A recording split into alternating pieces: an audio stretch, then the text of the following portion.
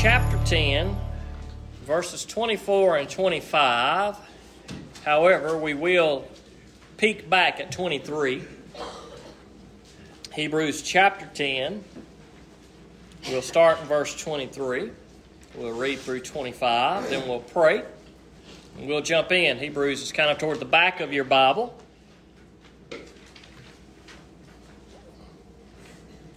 The author of Hebrews had worked his way up to making his main point, and that is encouragement to his audience who are being tempted to turn from their faith in Jesus Christ.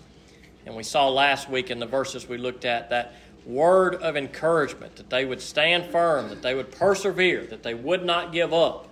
And we're going to talk a little bit more about that in just a second. Hebrews chapter 10, verse 23. Let us hold on to the confession of our hope without wavering. For he who promised is faithful. And let us be concerned about one another in order to promote love and good works, not staying away from our worship meetings as some habitually do, but encouraging each other, and all the more as you see the day drawing near. Let's pray. Father God, we come to you, dear Lord, and I pray that in these few verses that we would find encouragement and strength today, dear Lord, that as we come together as a body of Christ, that we would find encouragement and love, dear Lord, just being together. I pray, God, that in these few minutes that your Holy Spirit would speak to us, that you would speak through me, dear Lord, that you would help us to hear the words that we need to hear, that you would help only the words that we need to hear come from my mouth today, and that your Spirit would just let us see and hear your word this morning, God. I pray, dear Lord, that you would just hide me behind the cross, that you would help me to be able to preach and teach in a way that brings glory to Jesus Christ and everything that is done. And I ask these things in Jesus' name. Amen.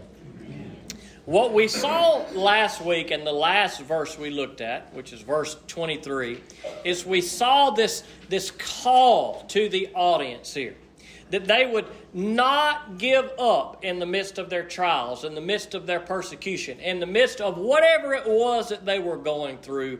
The author of Hebrews, as he's been trying to make the point through the whole book, is do not give up on Jesus Christ. Do not lose faith in Jesus Christ.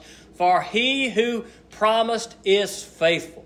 If God has promised you eternal life and forgiveness of sins, if God has promised to be with you in the midst of your deepest, darkest days, then God will be with you. God will deliver you. And even if we suffer in this life, we will spend an eternity with God through Jesus Christ. Therefore, these are the promises of God, so do not give up. Do not give up on your faith and turn to anything else. Now, maybe this is fair to say that the audience that he's writing to here were having a crisis of faith. Maybe you've heard that phrase before. Maybe you've had a crisis of faith before. A crisis of faith is where you have faith in Jesus Christ, you have faith in the Word of God, you have faith in who God is, you believe God's Word, you believe what it says, you've trusted in Jesus Christ, and something occurs in your life that begins to cause you to question who God is, question the goodness of God, question your faith in Jesus Christ. And that is exactly what was going on to the audience here. These were people who had come to faith in Jesus Christ, but yet, for whatever reason, they were being tempted to turn from Jesus Christ. They were, they were on the edge, and some of them, it sounds like, had already walked away. They had already given up on Jesus Christ. They had already turned from their faith. And the book of Hebrews is an encouragement not to turn away from your faith in Jesus Christ.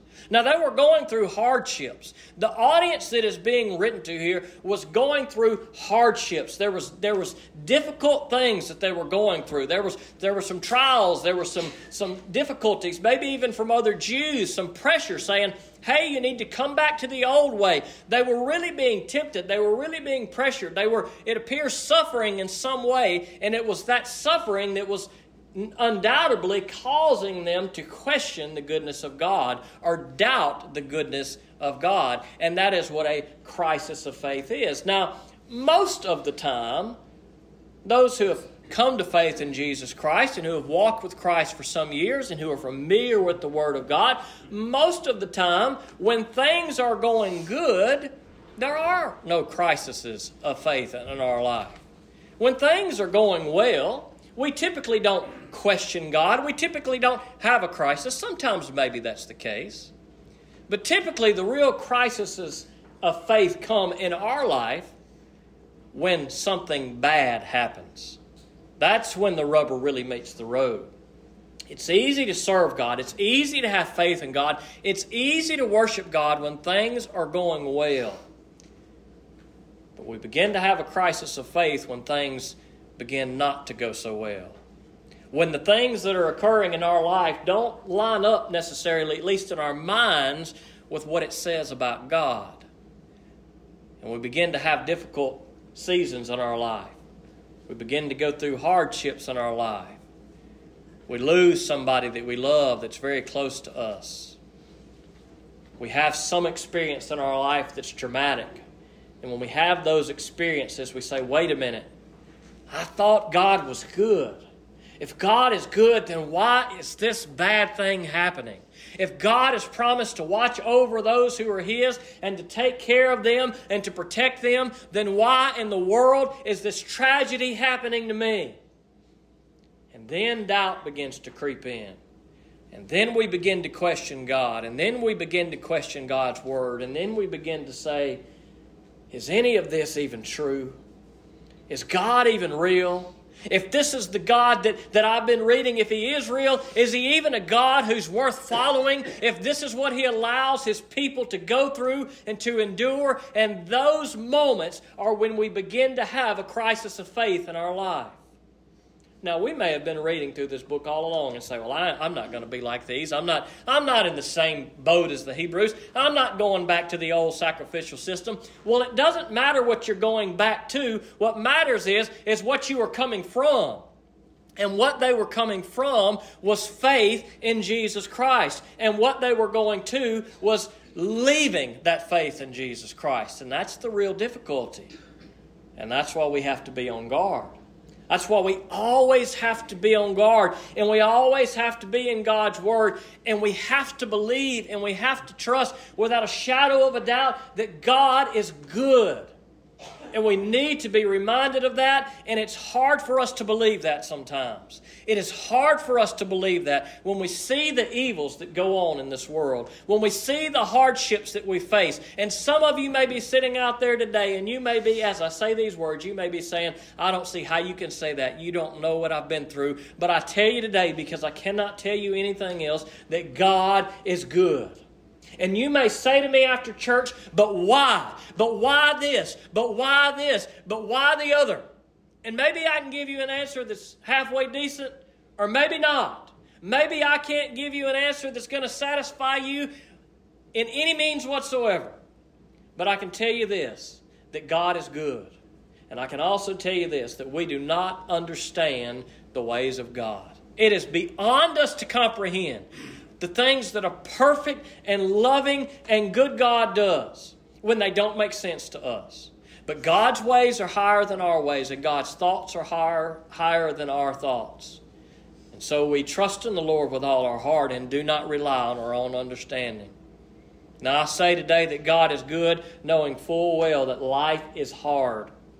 I'm not pretending for a second that the tragedies and the hardships and the things that we face in our life are not difficult and they are not real. And there are times that it doesn't feel like God is at work and it doesn't feel like God is present. But I want to tell you today that God is good and God loves you. And that's all I can tell you. I wish I could tell you, here's why God does this, and here's why God does that, and here's why it's all going to be good. But I don't know because I'm not God. I'm just a guy that's struggling with you, that goes through the hardships and sees the difficulties and sees the evil and says, Why, God? Why do you allow this to happen? Why do you allow good people to suffer? But what we cannot ever allow ourselves to do is to question the goodness of God.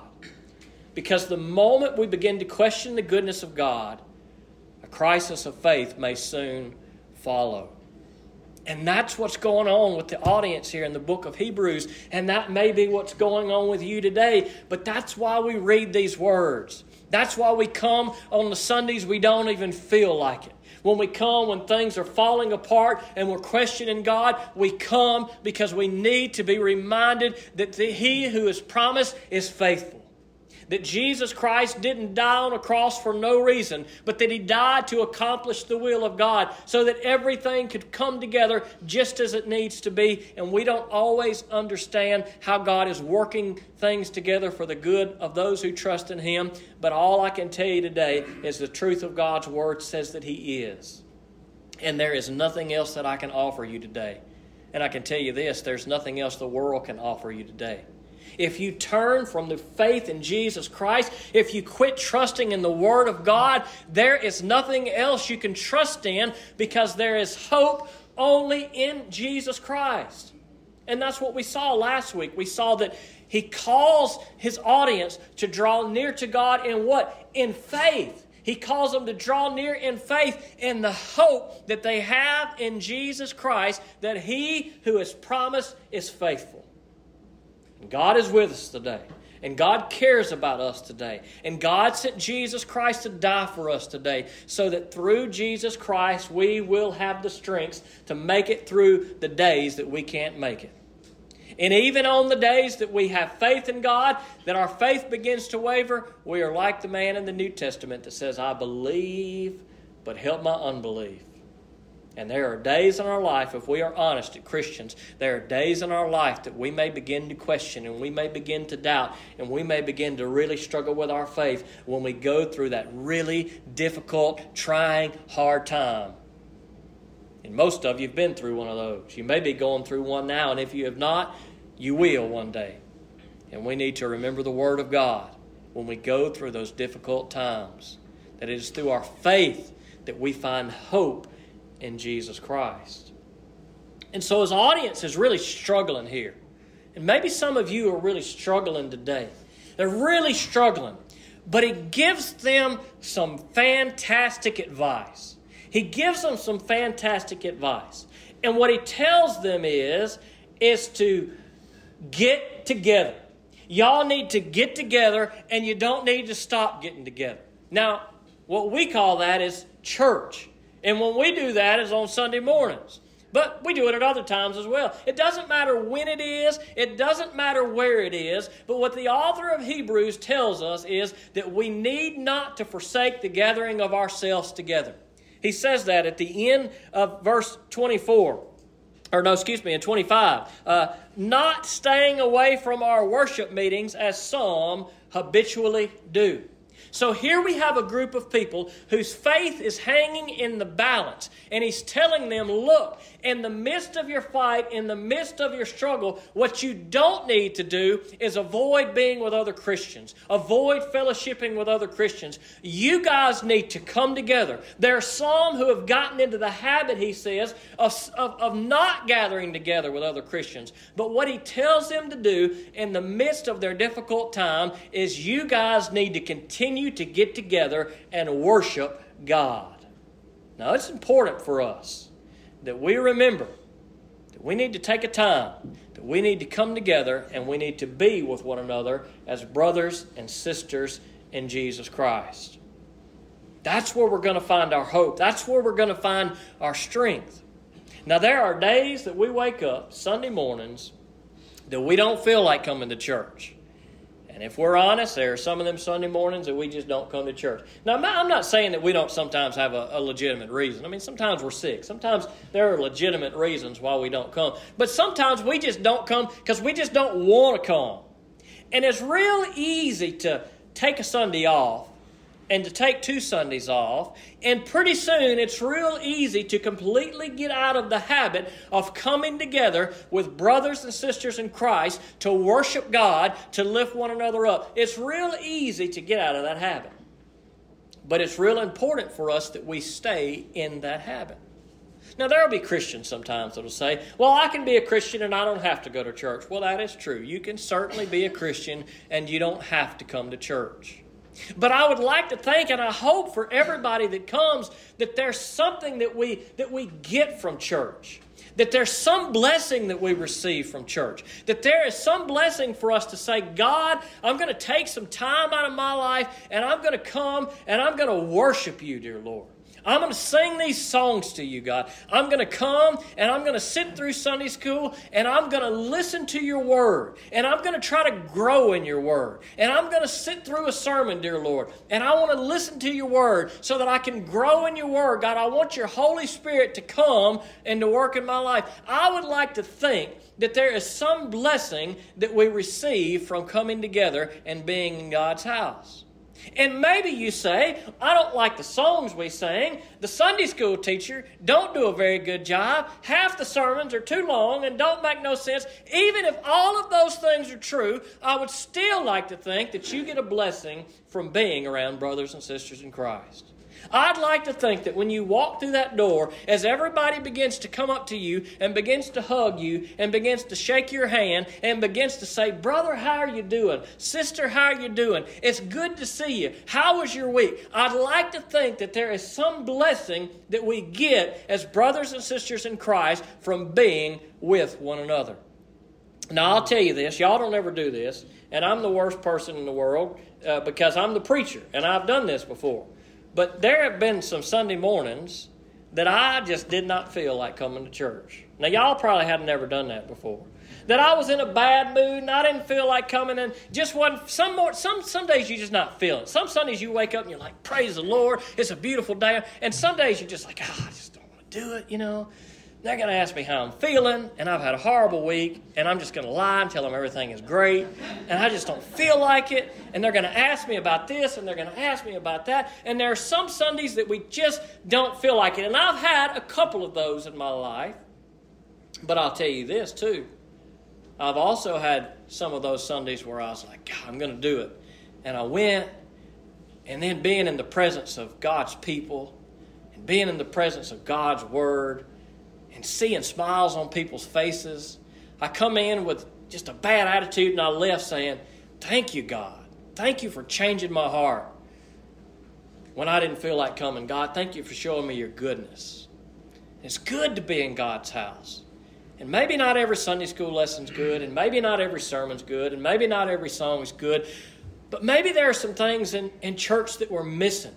Maybe there are some beautiful moments that we miss that, that bring joy to our life. Maybe there's some joy there. Maybe you say, I, I get tired of coming, I don't want to come because I ain't getting nothing out of it.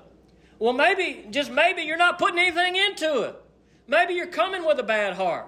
Maybe you just come to church every day and say, Well, what can the church do for me in this way? And what can the church do for me in that way? And how can the church help me in this way? Maybe we need to change our mindset and say, God, how can I serve in the church? What can I give to the church? How can I help this church? How can I be involved in these ministries? How can I be involved in this community? How can I be there to love on my brothers and sisters in Christ and put them a card in the mail and pick up the phone and check on them and drop by and see how they're doing and ask them how they're doing and tell them I love them and tell them that I'm praying for them? Maybe as much as we get out of church, maybe we need to be putting that much back into church.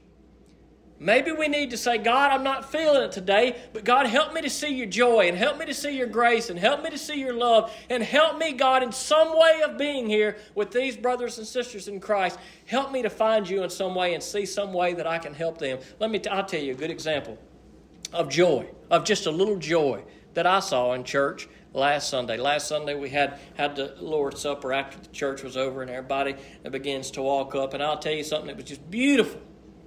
I was standing here and I had my head down. I was praying. I, I kind of looked up, and there I saw this young lady, little little girl, that just had gotten baptized a few weeks ago, and for the first time in her life, she was partaking of the Lord's Supper with her dad right there by her side. And I said, "Thank you, God. What a beautiful, what a beautiful thing to see. What a beautiful joy to see that." And maybe there are things like that that we can see around our church all the time if we just look. Maybe on those days where we say, I just don't feel like coming. Maybe on those days where the sermon wasn't that good. Maybe just maybe you saw a brother and sister in Christ and they really need you. Maybe they're suffering and they're in pain, and maybe you just go home and say, God, I'm not doing good, but I pray for that brother and sister in Christ. regardless of how I feel today, dear Lord, regardless of what my heart is like, God, I pray for them because they need you. I pray for their family. I pray for their situation. And do you know that it almost never fails in my life? That when things are just rotten and my heart is just rotten and it's not in the right place, that when I begin to pray and begin to pray for other people, it's the most beautiful thing in the world how God begins to just kind of deal with us. Maybe you've experienced that. But there's a lot of benefit that we get when we come together as brothers and sisters in Christ. There's a lot of benefit that we get as we try to grow in the Word together, as we try to lift one another up, as we praise God for the work that He does in this church and the people in this church, and how He uses us and how He blesses us. And so, what does the author of Hebrews tell his audience? He says, Look, you guys are struggling, but what you don't need to do in the midst of your struggle is quit coming together because there is beauty in the body of Christ. It's a crazy thing. When we need to hear God's word most, when we need to be around other brothers and sisters in Christ the most, oftentimes those are the times that we don't want to come to church the most. We don't feel like it. We don't want to do it. We don't be around the people. But when we need it the most, is the time we don't want to come the most. But those are the times that we got to make the effort that we got to say, okay, God, I don't feel like coming. I'm, I'm, I do not understand your word. I'm questioning God, maybe some things that are going on. I don't want to question you, God, but I'm struggling. So, God, let me come together with brothers and sisters in Christ so that I can continue to seek you and to grow in you. And if we're having struggles in our faith, if we're having struggles in our belief, if we're having struggles in our life, then we need not to forsake the assembling of ourselves together. And that's what the author of Hebrews tells his audience. And that's good instruction for us today. But what did he say before that in verse 24? And let us be concerned about one another in order to promote love and good works. Isn't that a beautiful thing? And let us be concerned about one another. Let me ask you today are you concerned about other people in your life? Now, the obvious answers to that question should be yes. But if we're honest, maybe it's not we get pretty concerned about our own life. We get pretty concerned about what we're going through and our jobs and our family and our troubles. And, and, and oftentimes, it's, it's easy for us to fall into that trap that we become so concerned with the things that we have going on that there might be a brother and sister in Christ who has a need, and we totally miss it because we're too concerned about ourselves. But the call of Christianity is to consider others as more important than yourself. Philippians chapter 2 tells us that. That's one thing that's so important for us as a body of Christ that we never become a people who are selfish, but that we are a people who are all about serving one another. That we are a people who consider others as more important than ourselves. Maybe there are some needs around you today Maybe there's some that you've overlooked. It's okay. Ask God to help you to see them. We don't always see those things. Sometimes we do get caught up in ourselves and we get so caught up in what we're doing that we kind of miss the things that are around us. But we need to pray to God and say, God, help me to see, see ways that I can help those brothers and sisters in Christ around me who are part of this body. God, help me to help them. That we can lift one another up. As iron sharpens iron, so one man sharpens another. Let us lift one another up in love and in good works. Now, we've already seen here last week, we saw the mention of faith, we saw the mention of hope. Here we see a mention of love. Sometimes you see these three things together. Uh, the most common place you probably recognize that is from 1 Corinthians chapter 13, verse 13. All that remains is faith, hope, and love, but the greatest of these is love. These are the things that are, that are crucial to us as Christians. That we have faith, that we have hope, and that we have love for one another. That we love one another, that we promote love for one another, that we make sure that everything we do is building somebody up and not tearing them down. It's important for us to do that as brothers and sisters in Christ.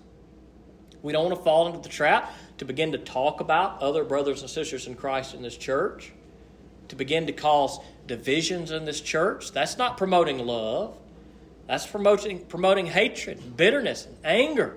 That's not what we want to promote. Too many times in churches, that's what's promoted. There's this clique and there's that clique, and this one talks about that one, and that one talks about the other one, and people are in real need, and we're too busy arguing about stupid little things that don't matter because we don't consider others as more important than ourselves.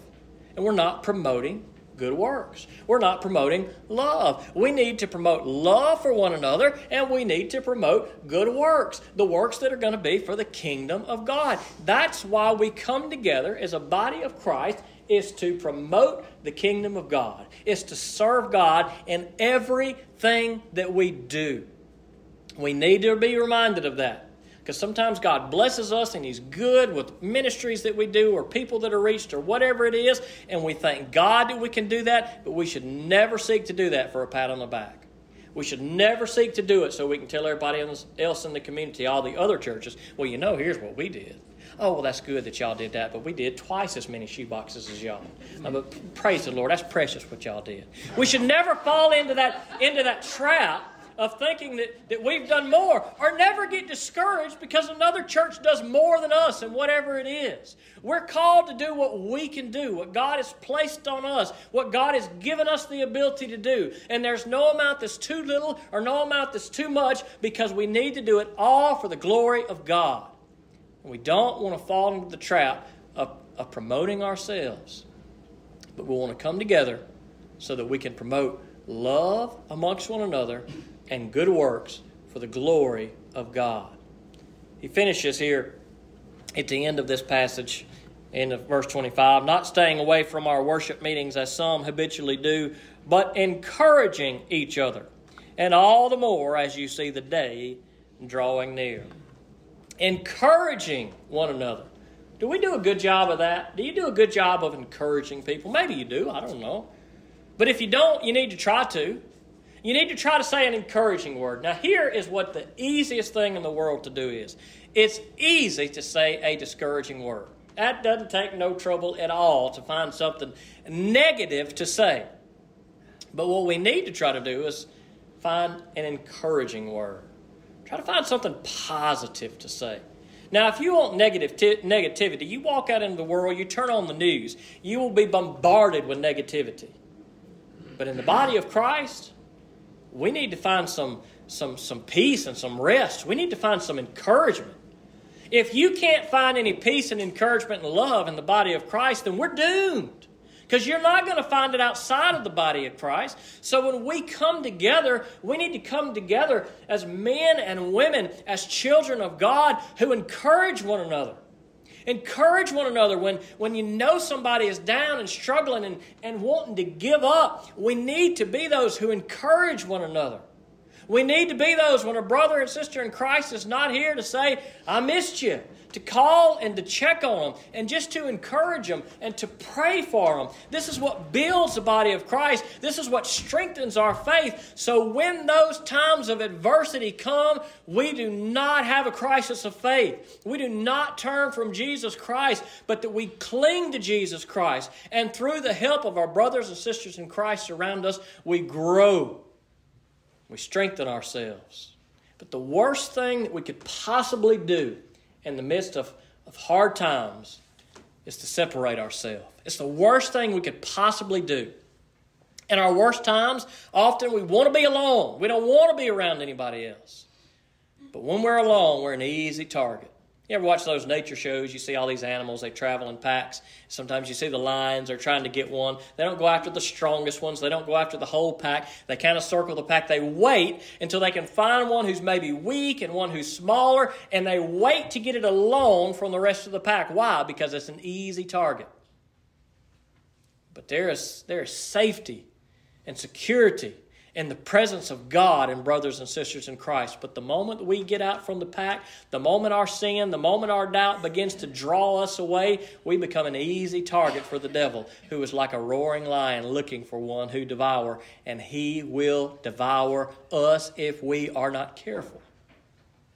So we need to be a body of brothers and sisters in Christ who seek God, who come together, who love one another, who promote love and good works, who considers others as more important than ourselves, and who are ready for the days of trouble when they come. And when will they come? I don't know. I guarantee you there's days of trouble that are going to come in your life. I don't know what way they'll, they'll, they'll, they'll uh, take place, but they'll come. He says here at the end of this verse, and all the more as you see the day drawing near. I don't know what day he's talking about there. About half your translations are going to have that capitalized. Uh, some interpreters believe that being the day of the Lord, uh, the return of Christ. Uh, others just uh, see that as a, as a day of difficulty that's approaching uh, in the context, a day that might be coming for the audience that's here. I don't know. We need to be prepared for all those days. We need to be prepared for the day that Jesus Christ will return. But until he returns, we need to be prepared for the difficult days that are undoubtedly going to come in your life. There are going to be seasons of pain. There are going to be seasons of heartache. There are going to be seasons of hardship. There's going to be seasons of death. There are going to be hard times in your life, and there are going to be times, probably for every one of us, if it's not already been, that our faith is shaken. And on those days, we need to seek God with all of our heart and do not rely on our own understanding. We need to come together with brothers and sisters in Christ. We need to be in the Word of God. We need to encourage one another, and we do not need to forsake the assembling of ourselves together. Because there should be power and love and grace and beauty and joy and peace in the body of Christ. I pray that as a body of Christ that we, we exhibit those qualities, that we are there for one another, that we love one another, and that all we do we keep our eyes on Jesus Christ. All we do, we do it for the glory of God. Maybe there are some of you today and you're having a crisis of faith and you're really struggling. I want to pray for you today. If you want to come down, I'll pray for you later. You want to pray where you are, pray where you are. You want to come down and kneel as we have this time of invitation. But if God is dealing with you today and you're struggling, then you keep struggling with God, but do not give up on God. Do not turn away from God because there is no one else that we can turn to. Maybe you know somebody that's struggling today. Maybe somebody in this church, maybe somebody in your family. Reach out to them, pray for them, encourage them, let them know that you love them and that God loves them because it's that strength of God. It's this blessing of community that God gives us, and what a blessing it is that God doesn't send us out on our own to make it through this world and its struggles, but God brings all of us here together just as He has today, so that we can grow in His Word, so that we can seek Him, and so that we can encourage one another. Let us be found faithful to do that today. Father God, we come to you. We thank you for your good word. I pray, God, that if there is one who is struggling today, that you would help them, that you'd meet them in their struggle, dear Lord. You know that life is hard. You know that we are weak. And so we need your help, dear Lord. Maybe it is true of some of us in here today that we believe, but, dear Lord, we need you to help our unbelief. God, I, I, I wish I knew all the answers to all the questions, dear Lord. But I don't know all the answers to all the questions as to why you do the things you do and why you allow things that you allow. But, dear Lord, I do believe that you are good. And I pray that you would help us never to forget that. It's easy to say that you're good. It's easy to trust you without question when times are good. But, dear Lord, I know that when times are hard, that's when it really, really gets serious. So, God, I pray that even if we think we are ready to stand in the midst of, of, of, hardships in life, that you really help us to be ready, that you help our hearts to be strengthened, dear Lord. That when those times come and those days of difficulty come, that we would not give up on you, that we would continue to stand firm in you, dear Lord. That we continue to trust in the cross of Jesus Christ, that our faith would not waver, that our hope would continue to be strong and that our love for you would grow, that our love for one another would grow, dear Lord. I pray, God, that you would help us to be a body of Christ that is continually gathered for your glory. That we come together, dear Lord, to hear from you, to learn your word, to grow in you. That we come together, dear Lord, to help one another. Maybe there are some today that just they just wasn't feeling it when they came, dear Lord. Maybe they're still not feeling it. Maybe they just maybe they're just struggling. I pray, God, that you would help them not to leave without experiencing your presence today. I pray, God, that you'd give them some peace and some joy and some comfort. I pray, God, that you just let them receive a blessing from being here, dear Lord. If it's nothing else, a blessing of a hug from a brother and sister in Christ, or an encouraging word, or, or maybe your word that we read today, whatever it is, God, I pray that we would all leave here today saying that we have received a blessing by being able to gather together here to worship you.